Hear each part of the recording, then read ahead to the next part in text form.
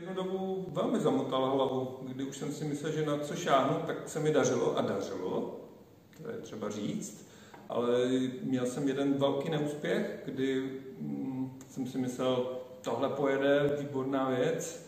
A jedna velká chyba byla, že jsem se spolehnul jenom na své spolupracovníky, nekontroloval jsem, dával jsem jim plnou, plnou důvěru, plnou zodpovědnost a dopadl jsem velmi špatně.